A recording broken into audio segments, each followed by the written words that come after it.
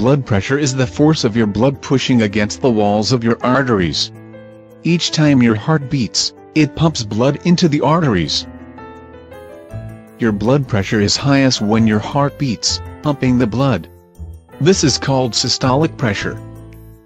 When your heart is at rest, between beats, your blood pressure falls.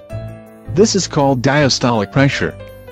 Your blood pressure reading uses these two numbers. Usually the systolic number comes before or above the diastolic number.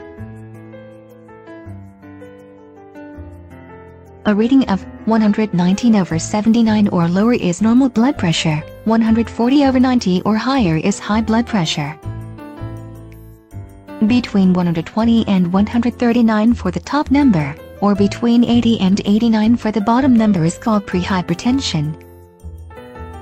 Prehypertension means you may end up with high blood pressure, unless you take steps to prevent it. High blood pressure usually has no symptoms, but it can cause serious problems such as stroke, heart failure, heart attack and kidney failure.